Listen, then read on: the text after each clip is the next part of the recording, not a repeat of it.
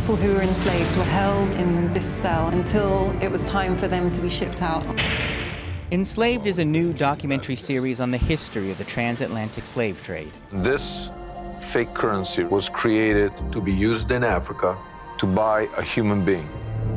The director of the series was shocked at the sheer scale of it all. I didn't know we were talking about 400 years of trafficking in Africans.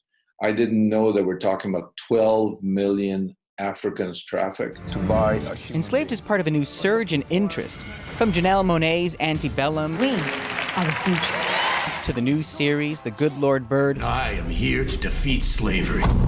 and the upcoming series, The Underground Railroad. Chattel slavery is in the spotlight.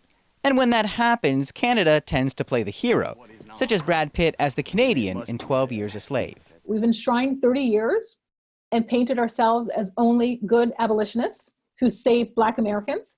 And we've totally obliterated, ignored, and tried to erase 200 years when we were actually also slaving. people carrying their kids. Indeed, Enslaved follows the Underground Railroad onto the water, where they make the first positive identification of a boat that ferried enslaved people to Canada.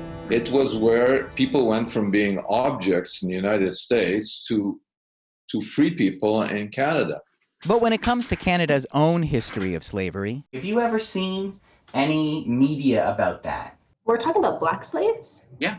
I really didn't know. I thought it was the place of uh, sanctuary, salvation. You won't find it in school or on the screen. Now, students like Tanisha are working to change that. Here is where producers and historians agree.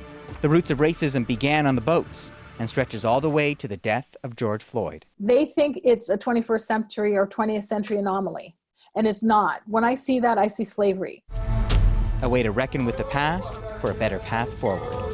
Eli Glasner, CBC News, Toronto.